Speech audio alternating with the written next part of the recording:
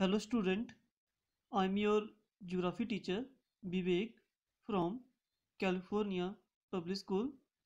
So dear student, uh, this is chapter 11 Minerals and Energy Resources. In this chapter, uh, we already discussed convection source and iron ore, manganese, copper or bauxite.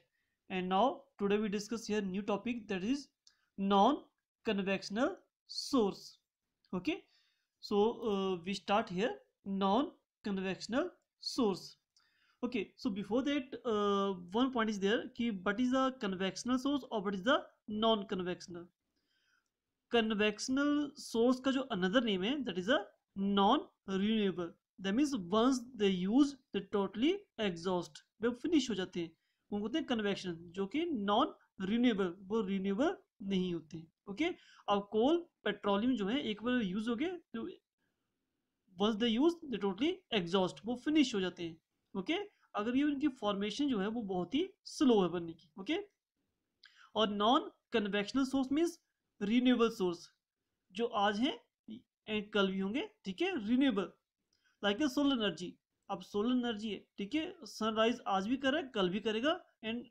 Coming days में करेगा। Okay like wind भी move कर रही है तो ये सारे के renewable non conventional source means renewable okay और conventional source means non renewable means once the use totally exhaust वो फिनिश हो जाते हैं। Clear so we start here non conventional source okay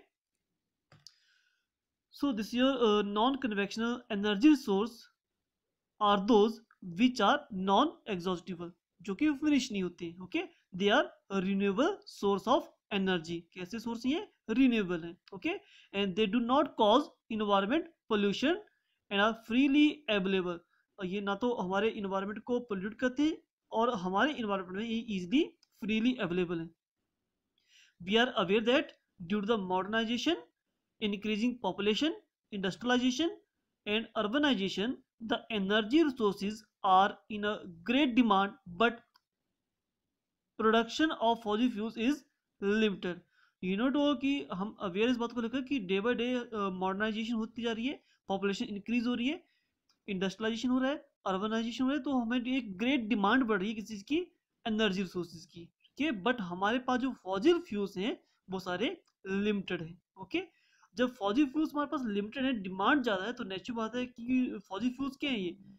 ये सारे नॉन रिन्यूएबल है कन्वेक्शनल है। ये फिनिश है once the youth they finished ठीक है दस बाय वी नीड पड़ी किसकी? रिन्यूएबल सोर्स की, जो कभी फिनिश नहीं होने वाले हैं। ओके तो वही बात कर डिस्कस करें यहाँ पर कि need for using renewable energy resources हमें नीड क्यों पड़ रही है इसकी? रिन्यूएबल सोर्स की। तो फ़र्स्ट क्या over dependency on fossil fuels कि हम ओवर डिपेंड हो गए फॉजिल फ्यूल्स के ऊपर। और फॉजिल फ्यूल्स कौन से होते हैं? Like coal oil and gas so the growing consumption of energy has resulted in the country becoming increasingly depend on fossil fuels, such as coal, oil and gas, कि means day by day जो demand बढ़ रही है energy resources की due to that हम totally depend हो गए हैं फॉजिल फ्यूल्स की. बट ये फॉजिल फ्यूल्स है, वो क्या है?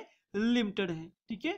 So that's why we need using the renewable source and slow rate of formation और सेकेंड थिंग्स क्या है? जो ये फॉजिल फ्यूल्स हैं लाइक कोल ऑयल और नेचुरल गैस ये सारे की जो फॉर्मेशन रेट है वो वेरी स्लो है। लेकिन यूज़ करने की जो प्रोसेस uh, है वो फास्ट है। Okay the rate of formation of fossil fuels is very slow as compare to their demand demand ज़्यादा है लेकिन जो बनने की जो प्रोसेस है फॉजी फ्यूल्स की वो वेरी स्लो है। So the rate at which we using fossil fuels there there is fear of energy crisis कि जिस बेस से हम पेस से, जिस फास्ट स्पीड के साथ हम फॉजी फ्यूल्स को यूज़ करें तो एक फियर हो चुका है इसका एनर्जी क्राइसिस का कि आने वाले टाइम में एनर्जी रिसोर्स हमें नहीं मिलेगी जिस पेस से हम यूज़ करें fossil fuels that's why we need renewable सोच की पड़ रही है okay rising price of oil and gas अब बच्चे देखो सेकंड थिंग्स क्या होती है कि जब भी किसी चीज़ की शॉर्टेज होती है और डिमांड ज़्यादा होती है तो नेचुरली प्राइस हाई होते हैं। तो सेम है कि हमारे पास फौजी फ्यूल्स के हैं जो लिमिटेड है और लेकिन डिमांड ज़्यादा है। So due to that price के हाई होते जा रहे हैं day by day due to the very high demand and the price of minerals, oil and coal have uh, risen very sharply in the recent years, putting a huge burden on. ठीक है क्योंकि day by day क्या हो रही है? बहुत ही इनकी जो प्राइस बहुत हाई हो रही है इसकी वजह से इकोनॉमी पर एक इफ़ेक्ट पड़ रहा है ठीक है? The potential shortage have raised uncertainty about the security of energy supply in future और जिस हिसाब से शॉर्टेज होती जा रही है फॉजिल uh, फ्यूल्स की तो आने वाले टाइम में ये प्रॉब्लम क्रिएट कर सकते हैं ठीक है? So natural which turn has serious repercussion on the growth of national economy और जिसका भाई हमारी इकोनॉमी पर एक इफ़ेक्ट पड़ सकता है क्योंकि ये हमारे पास लिमिटेड है और डे बाई डे जो भी चीज़ थिंग्स हो जिसका मतलब क्वांटिटी में जो लेस हो लेकिन डिमांड ज़्यादा हो तो उसके प्राइस हाई ही होती है clear so that's we need to use the renewable energy resources okay and pollution you know too कि जितने हमारे फौजी फ्यूज हैं ठीक है? उनका एक ग्रेट इम्पैक्ट पड़ रहा है uh, हमारे इन्वायरमेंट के ऊपर और day by day pollution increase होता जा रहा है okay so moreover increasing use of fossil fuels also cause serious environment problem hence there is a pressing need to use renewable energy resource like solar energy wind tide biomass and energy for waste material the means की these of the renewable source ये सारे की है pollution free source of energy है okay so that's why we need हमें ज़रूरत पड़ रही है कि हम रिन्यूएबल सोर्स यूज़ करें ताकि पोल्यूशन ना हो, क्योंकि फौजी फ्यूल से होते हैं, वो हार्मफुल गैसेज रिलीज़ करती हैं, उसकी वजह से हमारा environment day by day pollute होता जा रहा है। Clear so these are the call non conventional energy source ये सारे क्या हैं नॉन कन्वेक्शनल है, ठीक है? जो फिनिश नहीं होते।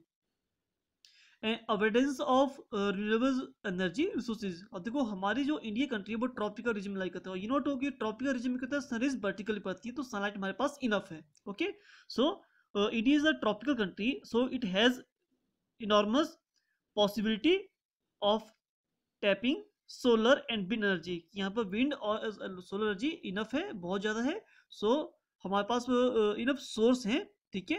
रिन्यूएबल सोर्स के। So India is blessed with an abundance sunlight water wind and biomass India के पास सरप्लस के है?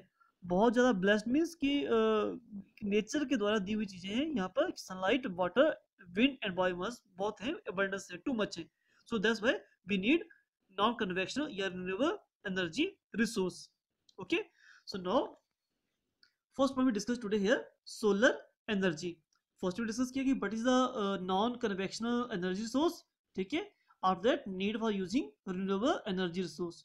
So now discuss here solar energy.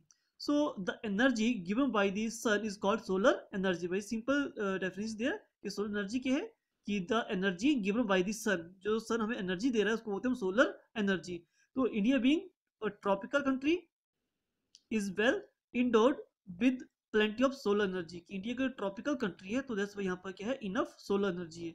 So most part of the country have bright sun sunshine throughout the year except brief monsoon period कि हमारी पूरी country country जो है, पूरे एनी प्लेस पे, सभी प्लेस पे क्या है uh, इनफ सनलाइट uh, है सिर्फ़ except leave the only two three month जो मानसून सीज़न होता है दैट टाइम क्लाउडी होता है दैट टाइम हम थोड़ा सा little get less heat observe करते हैं लेकिन अदरवाइज़ हमारी कंट्री में इनफ सनलाइट रहती है ओके वही बात है कि most part of the country have bright sunshine sunshine throughout the year except brief uh, monsoon को छोड़ के ओके solar energy can be uh, to provide power देखो सोलर एनर्जी का यूज़ कहाँ हो रहा है टू यहाँ से क्वेश्चन है बेटा but the use of solar energy तो solar energy can be use to provide power to solar water heater solar refrigerator and solar drying and streets lights and cooking pumping power generations okay and new technology is here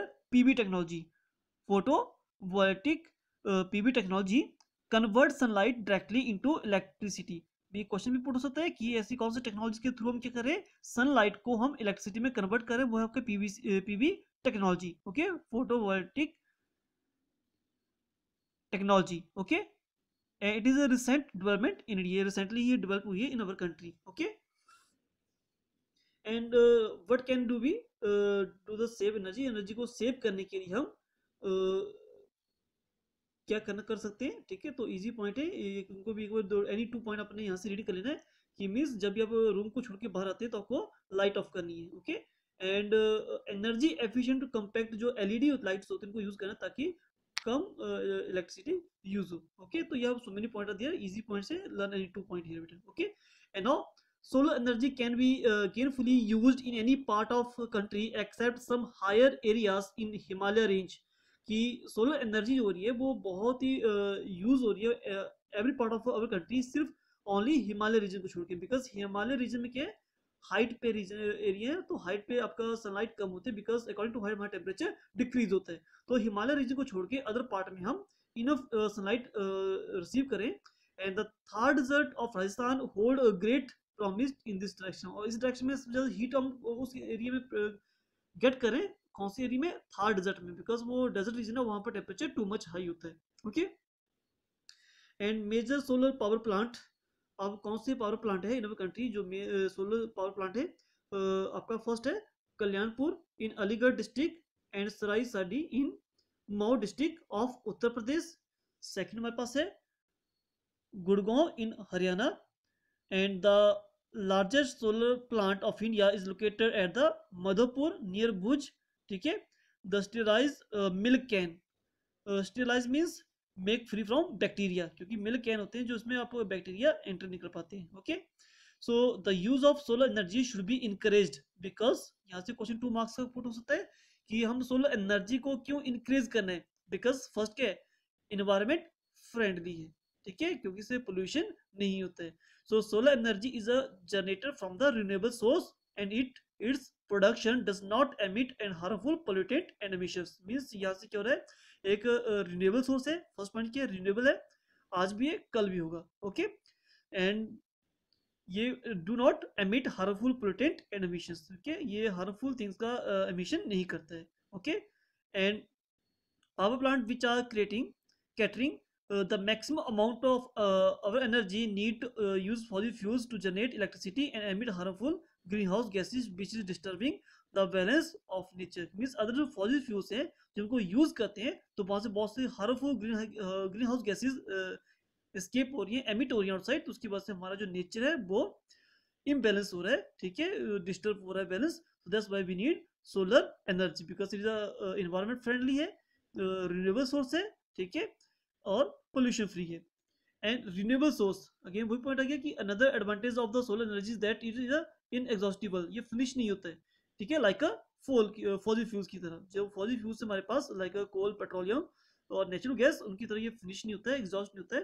ठीक है so source of energy solar power plant is renewable sun is the source of generate solar energy and sun is the freely available everywhere and is not going to exhaust in future नहीं future में कभी खत्म होगा। Okay and reduction of deforestation तो solar energy can be helpful in reducing the dependency of rural household on firewood ठीक है? क्योंकि जो reduction in deforestation in the village specially village में uh, खाना बनाने के लिए जो लोग यूज़ करते हैं वो है वुड ठीक है? वो पेड़ों को काट रहे हैं ठीक है? लेकिन जब सोलर एनर्जी यूज़ करेंगे तो हमारे फॉरेस्ट जो फॉरेस्ट होंगे वो सेफ़ रहेंगे and this will be reduce the rate of deforestation and saving of cow dung you know you to all कि काउ डंग का यूज़ इन विलेज में खाना बनाने के लिए भी करते हैं ये सोलर एनर्जी को यूज़ करेंगे तो हमारा काउ डंग यूज़ रहेगा और जो कि इससे हमारा इन्वायरमेंट भी सेफ़ रहेगा। यू नोट हो कि जो काउ डंग होता है एज ए मन्योर यूज़ होता है खेतों क्योंकि जो फर्टिलिटी उसको भी इंक्रीज करता था, उसका यूज़ वहाँ पे